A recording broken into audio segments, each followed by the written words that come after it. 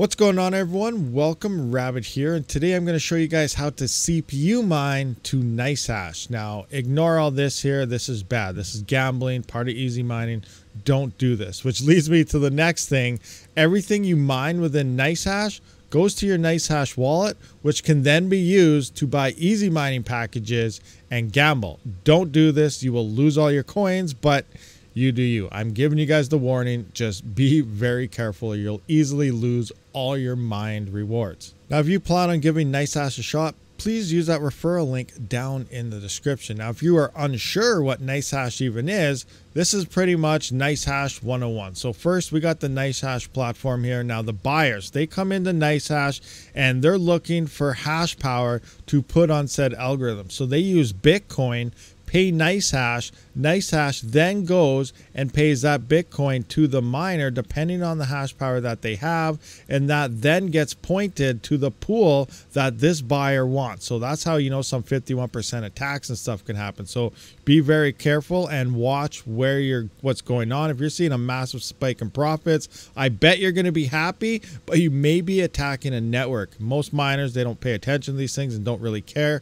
Personally, myself, I was involved in the early Ethereum Classic 51% attacks. I had an RTX 2060 KO that went from about 58 cents a day to almost $4 in the last bear market prior to the 2021 bull. So, you know, things can get insane at times, but it hurts coins as well. So, to sum it all up, you got a buyer. He rents hash power through NiceHash. You are the provider of the of the hash power, and then the buyer points it to a pool of his choice and gets all the rewards from that, which is why you get Bitcoin because they are buying it with Bitcoin and NiceHash just gives you their share. So the first thing you're going to need to do is obviously make a NiceHash account. Once you've done that, it's just like signing up for anything, an email, whatever, it doesn't matter. It's just like a normal sign up process. So next you're going to come want to come into your dashboard here, go to download miner or add ASIC. We're going to click on this and there's a few options to do this. We're going to run through Windows as well as HiveOS. Now in Windows, you have the NiceHash Quick Miner here, which is for your AMD and NVIDIA GPU. So you're not going to be able to mine on your CPU for this. There's the NiceHash miner. This is what we are going to use. It's a profit switching tool, which does allow buyers to move your hash rate around depending on the profitability of the hardware you have in. You could turn GPUs off or on. So we're going to download this and show you how to set this up. Another way that you can connect, which is what we're going to be doing when we get the Hive OS as well, I'm going to show you in Windows, is the Stratum generator. And this is probably, I like this way the best. I don't like running the program itself, but you know, a lot of you guys like to do that. NiceHash also has its own Linux-based operating system. It's a bit of a pain to do. I haven't really used it for few years. It sounds like there's a new version now, but uh, we're just going to run through the uh, NiceHash miner here as well as the Stratum generator. So we're going to start with the NiceHash miner. We're going to click on this and simply download the NiceHash miner. This is my address here that I'm going to have to mine to. You can see it pop up here based on your account. But we're simply just going to go to downloads here, save that, download the NiceHash miner, and we'll set it up once I do extract it. All right, so it is done downloading. I'm just going to double click on the application here. We're going to accept all our terms, close this so accept our terms, uh, keep the old settings. I tried installing it. We're just going to go clean installation here, install it so you can see everything kind of from scratch here. It's going to do its thing, run NiceHash miner, yes, finish. Wait for it to do its thing again or on English here. Now, you can scan this with your mobile app if you want. You can scan it right now if you want. You know, maybe it'll attach to my farm but uh, we're going to enter NiceHash mining address manually. So I'm going to click on this right here. And now we got to go into our wallet right here and simply get our wallet address. So I'm just going to come in. You know what? I'm just going to actually go into mining here. It'll be a little bit easier here. Mining address, copy it right here. So you can see that I just went into the mining tab, clicked mining address, and it popped it up and you can hit mining. So now we're going to bring this back up paste it into there, save that as our mining address. Now it's going to be checking the CPU info, loading its miner plugins. It's loading all sorts of different miners and everything that you would normally use on GPUs as well as CPUs. It's going to test everything and we're just going to sit here and wait and wait for it to finish doing its thing. I'm going to close out some stuff here and we'll let it go through its process. All right, so there we did all this. So now you can say disclaimer on usage of third-party software. So now if you want to mine with your GPU as well, now XMRig does mine with GPUs as well as CPUs, but this is your main CPU miner. Now this is a profit switching thing, so maybe you want to run your whole rig here, maybe you want to run your whole workstation. I'm just going to accept them all, bam, bam, bam. It's going to detect everything. Now restart NiceHash miner. So we're going to hit the restart button. Now it's going to restart the miner and check everything all over again and should be all fully loaded up after this. All right, so I closed it out. You should have a desktop icon. If you don't, you can just check it out within your latest recently added programs. But we're going to right click this and run it as an administrator. So we're going to go to yes here. While that loads up, we're going to come back onto the website. Now it's going to load everything up as an administrator. So it has all our permissions and everything needed at this point. So wait for this to finish.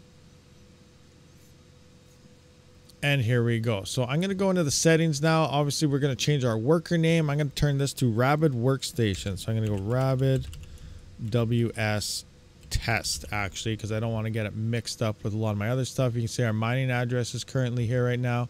You can set your day units, time, electrical cost, minimum profit per day, which means it won't mine unless it hits this type of levels that you set here so you can at least cover your power costs. So there's lots of options in there. We're just going to show you up how to mine at this point.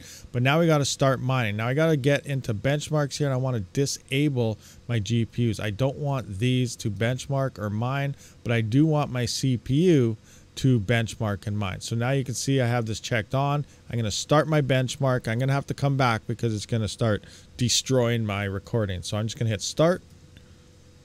All right, so the process finished. It only had to benchmark RandomX Monero, which is the only algorithm that they support. But I do believe right now with the recent profitability booming and stuff, it's coming back down.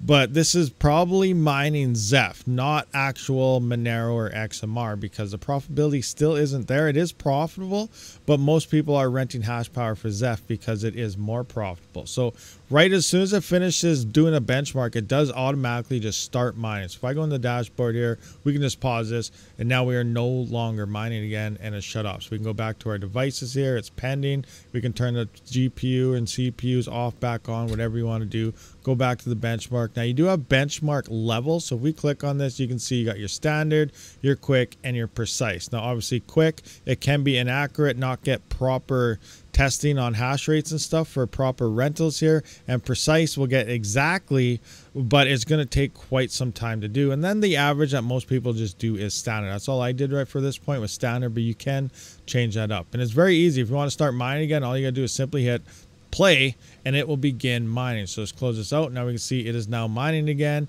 It'll get a current profitability and everything and start guessing what you are. So this is one of the easiest ways to get up and running is by simply utilizing this application itself. Now let's kind of show you to the Stratum generator using XMRig and stuff. And just for a reference, you can see that the Rabid workstation test here rig was detected within the website of NiceHash. So now we're going to jump into the Stratum miner, which is what I personally like myself. We're going to go to download miner, add ASIC here. We're going to go to Stratum generator. It's pretty simple. Select algorithm. Here we're going to go random X because that is all they support. You base it on you're not basing things on the coin, you're basing it on the algorithm when you set certain things up. So we're going random X Monero here, and this is the Stratum URL, the SSL URL, your wallet address, and a password if you need. So these are the parameters you need to put into uh, CPU mining program, SRB miner, XMRig, and etc. For myself, I'm going to be using XMRig here. All right, so you're going to want to open up your miners here. So I'm going to come into my miner here. We're going to go to CPU. I'm going to scroll down to, I think I have it under Monero here. Yep. And then NiceHash. So XMRig. This is the latest version that I currently have. And now we're going to go into our config and edit this. So this is where we put all the parameters that we see up here. So we're going to scroll down to where we actually got to add them in here.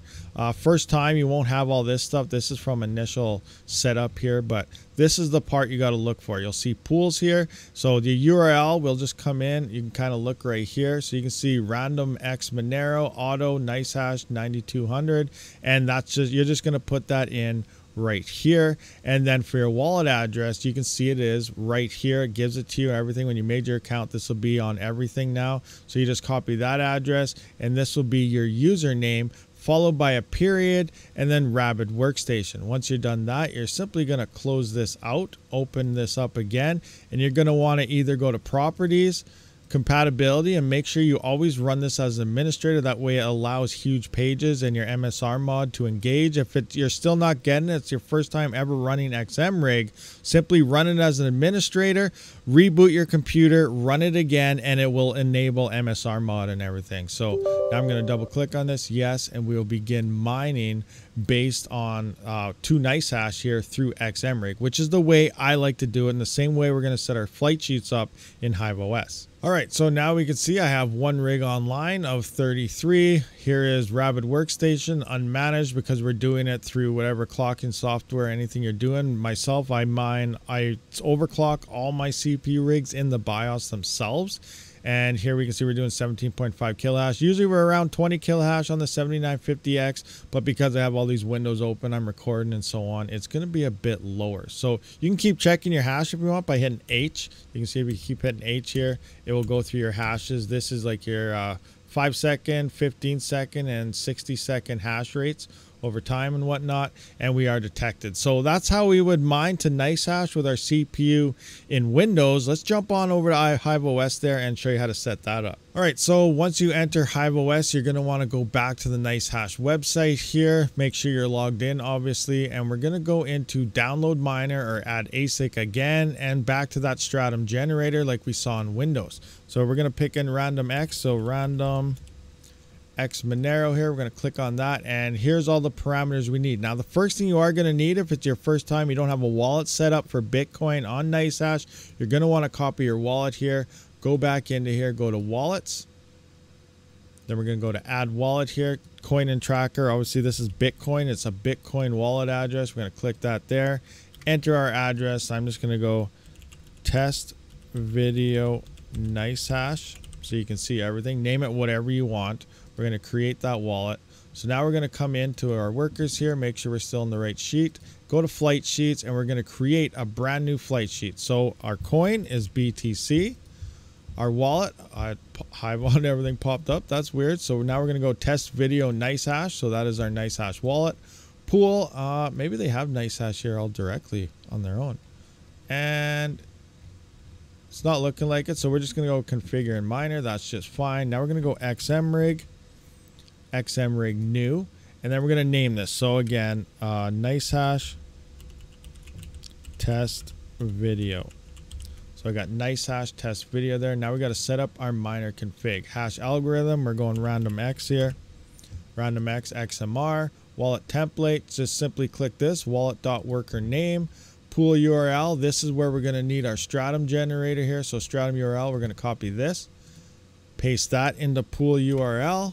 I always like to put these parameters in. Yes, our huge pages, we're adding that in. Password, you don't need one. And make sure you do turn your CPU on because if you don't turn it on, well, you can't mine with your CPU.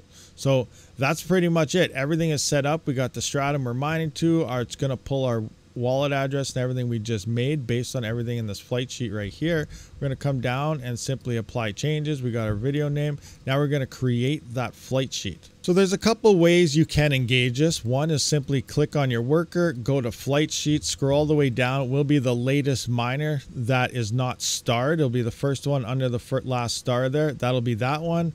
Or if you have a bunch of rigs or you want to move everything over at once, it's a pretty simple process.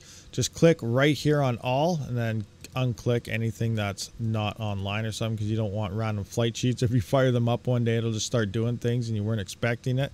But now that we have every rig that's online checked off, we can simply click up here and then we're going to go search for coins. Now we're going to look for Bitcoin and then simply find the flight sheet we just made. So we're looking for that test video thing. So right here, nice NiceHash test video, click on that apply, and now it's going to engage that flight sheet on every single rig. So it's pretty easy here to fire 28 rigs online ASAP. And you can do that for switching coins all the time. So I'm just going to wait for everything to kind of update here, and then we'll check our hash power over at NiceHash. So we can see here, take this off, clear messages, so we get all get rid of all the ones there and let's do a refresh. And we, we're starting to see a little bit of hash rate on some rigs. They're coming online. So I'm going to give it about three minutes and we'll jump into our NiceHash dashboard. Okay, so now we can see all the rigs are detected here at NiceHash. You can see your profitability, your unpaid, next payout, and BTC wallet total balance. And you got your auto refresh everything here.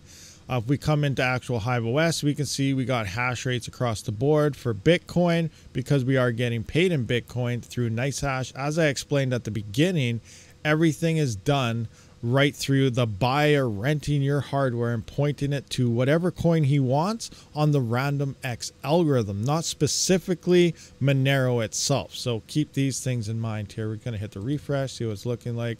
Slowly moving up in profitability as we get higher averages and depending on buy orders and so on. So that's pretty much it. You are now up and mining to NiceHash in both Windows and Hive OS. remember, if you do it in Windows, you do get more stats here like if we go into the one we tested here, we can see all our performance here, but you don't have that when mining through Hive OS or anything. So just keep that things in mind. If stats is a big thing for you and you want to see more stuff like this, then you know you're going to want to use the Windows version. But again, Hive OS makes everything so much easier to kind of move and swap around. So let's just do one more refresh here still looking at about $17 so hopefully it goes up to about 25 30 who knows we'll see what happens but i am debating on maybe throwing everything i got at nicehash just to see how it performs i never was really a big fan of nicehash i remember when I started mining like three, four years ago, I did use NiceHash quite a bit at first, but then I figured out about the attacks and everything that's going on.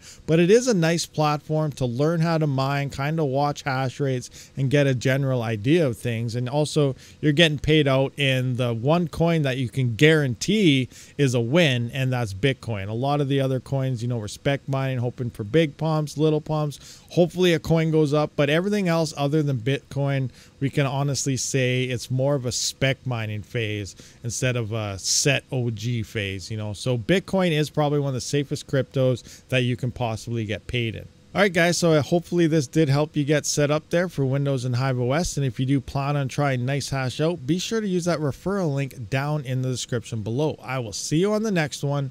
Rabid out.